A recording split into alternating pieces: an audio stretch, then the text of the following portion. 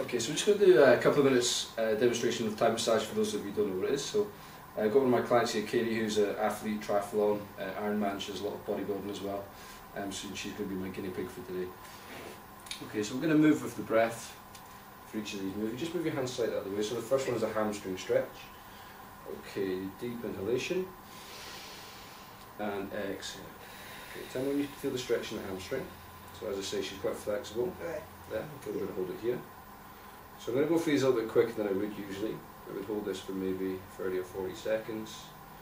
Okay, next one's going to be uh, hip and groin opener. Breathe in. Exhale. Okay, tell me when you feel the stretch. Okay, hold that. Good. Okay, you just mobilise the hip a little bit more. So the hip's a ball and socket joint, so it likes a movement. Is that okay? Yes. Good. We're going to come across the body for the glutes. Okay, again, breathe in.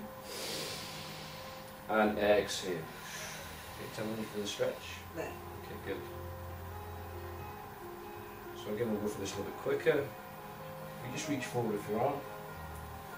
Okay, so spinal twist, you'll also feel this in the glutes. Breathe in. Exhale. Yeah. Okay,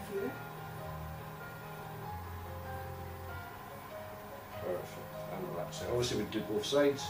Uh, if we just flip over to your front now, we'll do a little bit of work on the quads. Okay. So first we'll do the calf stretch, breathe in. Exhale. Tell me when you feel the stretch. There. Good. Feel. Okay. Uh, quad stretch, breathe in. Exhale.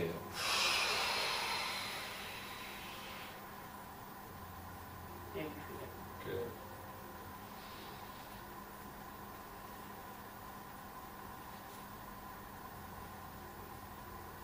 Okay, and if we just flip over one more time, we just finish with a spinal twist.